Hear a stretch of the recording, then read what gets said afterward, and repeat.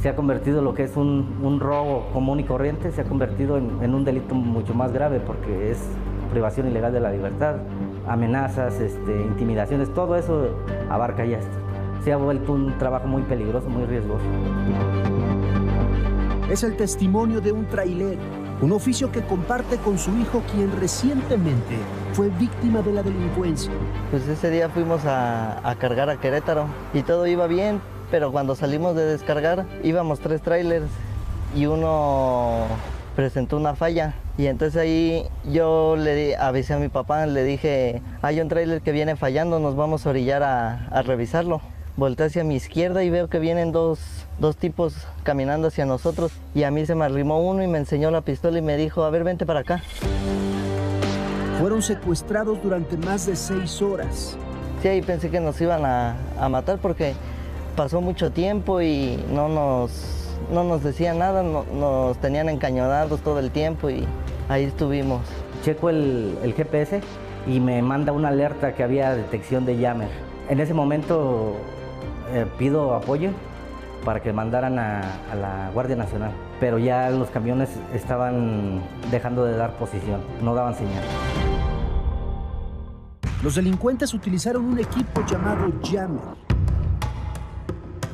el Jammer es un inhibidor, un bloqueador de señal que existe ya hace más de 20 años. Es como una cápsula, yo digo como una burbuja, que lo que hace es se pone entre 50 y 100 metros de la unidad y prácticamente no entran ni salen señales, ¿no? Los choferes fueron liberados sanos y salvos. Las unidades fueron recuperadas, sin carga, pero con dos jammers olvidados. Los inhibidores estaban amarrados abajo del, remolque del, tráiler. Es una herramienta, digamos, para ellos que, que les es muy eficaz porque te dejan incomunicado. Cualquier aparato que traigas, ya sea celular, este, GPS, cámara de video, cualquier cosa que utilice señal satelital, se muere, se muere con este inhibidor. En los primeros seis meses del año se han registrado más de 2.000 robos a vehículos de carga en las carreteras del país. En el 81% de los casos se utilizaron llamas. Esto a pesar de que en 2020 entró en vigor la llamada ley anti-jamming, una reforma a la Ley Federal de Telecomunicaciones y al Código Penal Federal que sanciona hasta con 15 años de prisión a quienes usen estos equipos. No, no está funcionando la ley. ¿Por qué no funciona? Principalmente porque no existe la, la capacidad de autoridades que puedan estar realmente buscando las personas que los fabriquen, que los maquilen o que los estén operando, ¿no?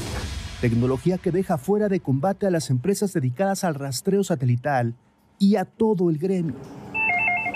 Tengo botón de pánico de la unidad CA225. Se encuentra detenida en sucursal Xochimilco. Podrían poner algunas antenas en algunas partes de las carreteras que pudieran detectar cuando un jammer está operando y que están inhibiendo señal y pues hacer ese tipo de, de redadas, vamos a decirlo, para ir, ir bajando, ¿no? Hay operativos, pero se puede decir contra nosotros, que estés bien de tus verificaciones físico-mecánicas, las unidades en buen estado, pero no hay un operativo que sea a favor de nosotros, que esté ayudando al, al transporte a evitar todo esto. Si ya hicieron una ley y no la respetan, entonces es como si dejaran trabajar libremente a los rateros. Roberto Domínguez, Fuerza Informativa Azteca.